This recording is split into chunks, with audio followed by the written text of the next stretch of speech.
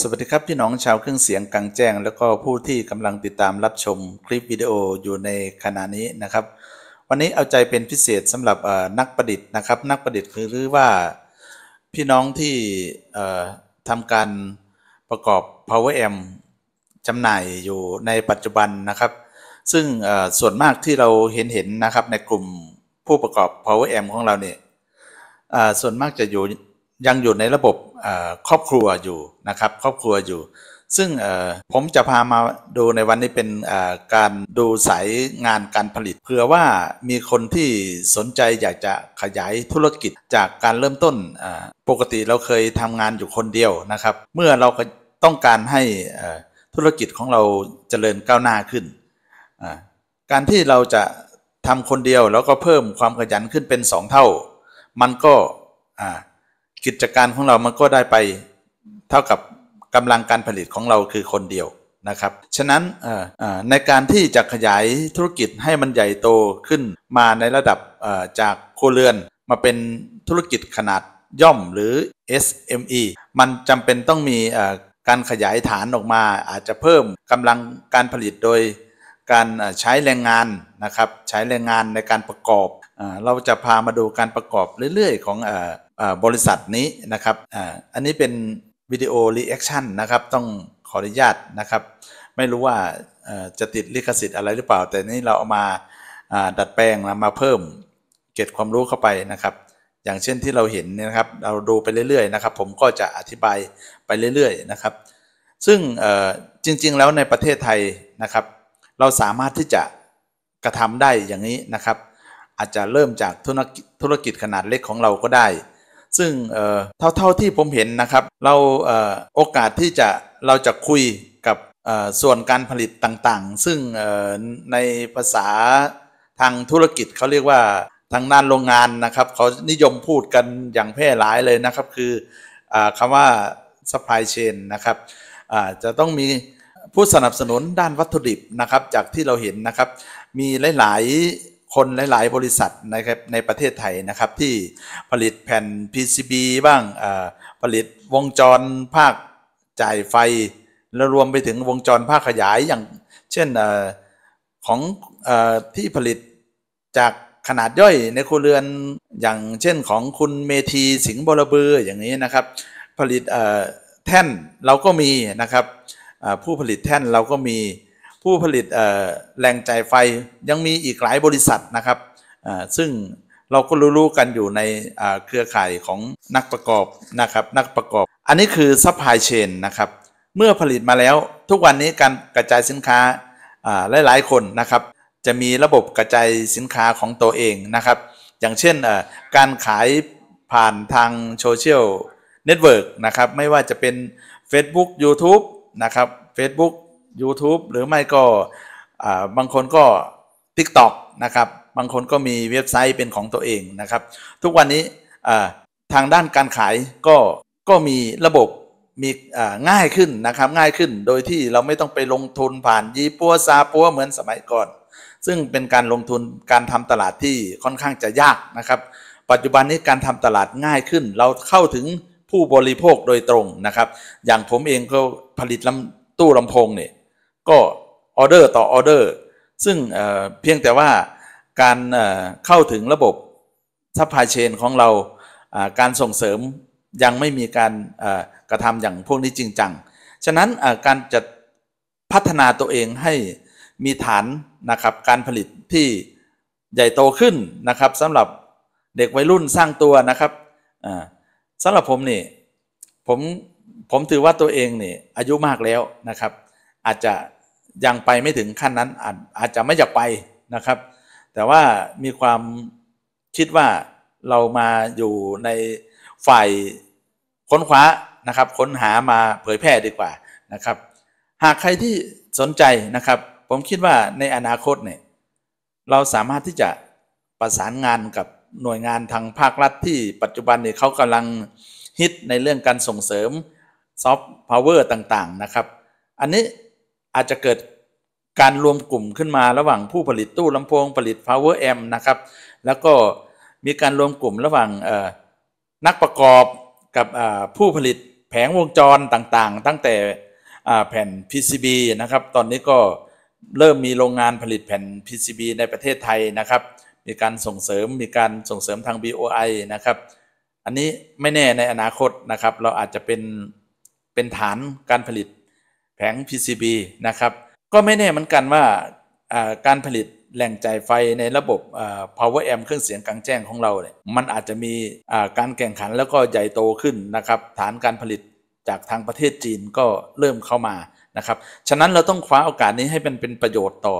อธุรกิจของเราเนี่ยครับนี่เห็นไหมครับ คือการประกอบจริงๆแล้วถ้าเกิดเรามี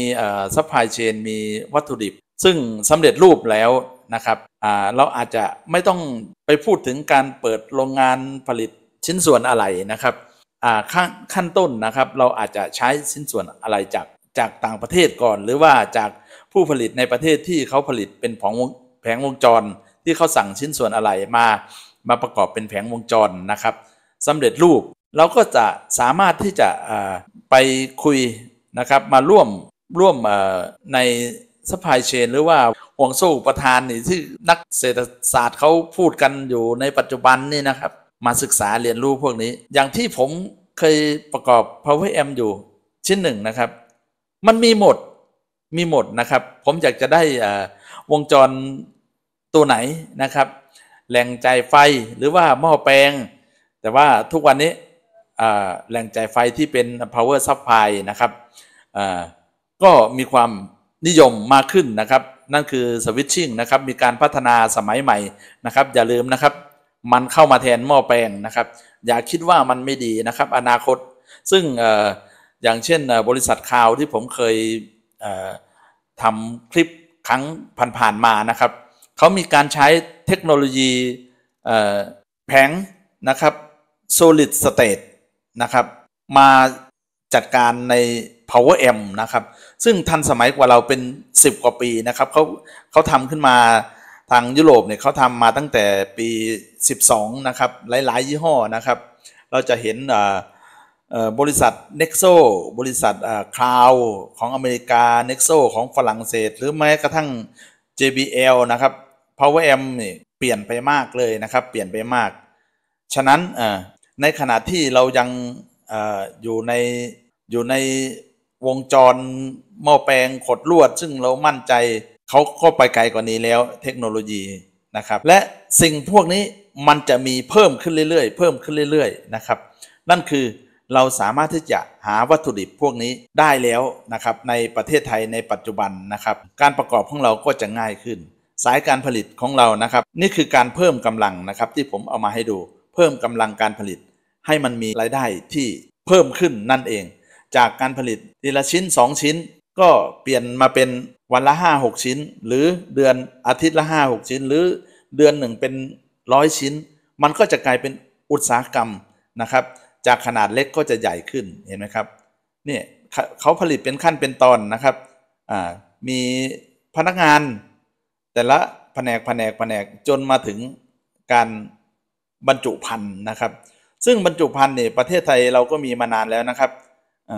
จากการผลิตกล่องผลิตอะไรต่างๆ นานานะครับ มีบริษัทประเทศของเรานี่พร้อมที่สุดแล้วนะครับ ในภูมิภาคนี้เราสามารถกระทำได้นะครับวิดีโอนี้นะครับผมพามาดูนะครับ การผลิต Power M นะครับสำหรับคนที่อยากจะพัฒนาตัวเองให้ก้าวหน้านะครับ ให้ก้าวหน้าขยับตัวเองจากธุรกิจนะครับ การผลิตในโครเรือนหรือการผลิต จากส่วนตัวนะครับมาเป็นขยับขยายนะครับ เริ่มจากอาจจะจ้างพนักงานนะครับ มีพนักงาน 2 3 4 คนนะครับ แล้วก็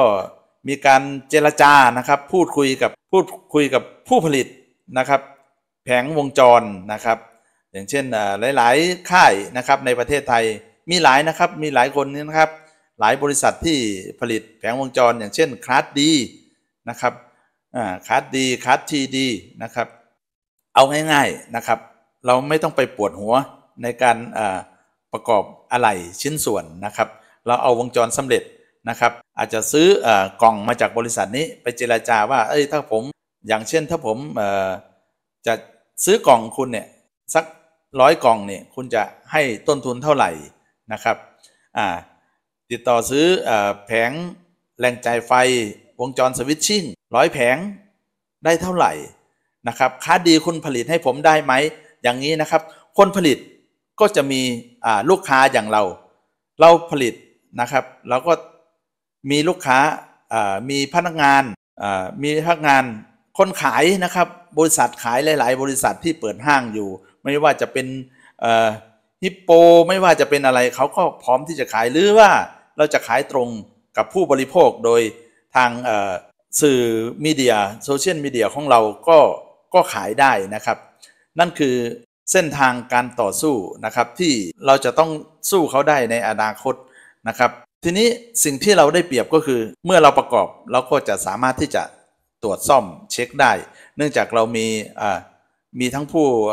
ผลิตวัตถุดิบเราทั้งเป็นผู้ประ ประกอบเองนะครับ เราตรวจสอบที่มาที่ไปมันได้นะครับ นั่นคือการซ่อมบำรุงนะครับ เราเข้าถึงผู้บริโภคภายในประเทศ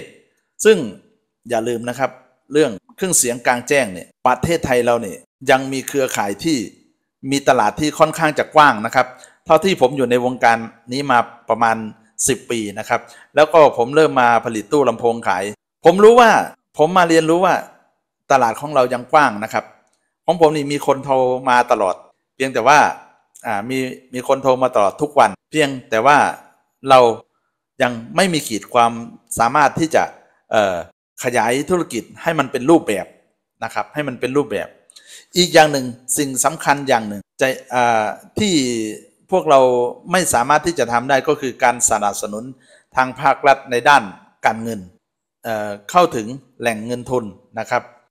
เราอยากจะให้ ให้มีการเข้าถึงนะครับ ตั้งแต่ขนาดย่อยๆนะครับไม่ต้องกล่าวถึง SME ระดับร้อยล้านพันล้านนะครับ เอาแค่เริ่มต้นจากแสนสองแสนนะครับหน่วยงานรัฐ ถ้าเกิดหน่วยงานรัฐให้การสนับสนุนเรา อย่างเราเข้าไม่ถึงสถาบันการเงินอย่างเนี้ยในอนาคตซึ่งอาจจะมีข่าวดีในระยะใกล้ๆนี้นะครับ เราอาจจะเข้าถึงแหล่งเงินทุนในระดับห้าแสนระดับล้านได้ง่าย ๆนะครับ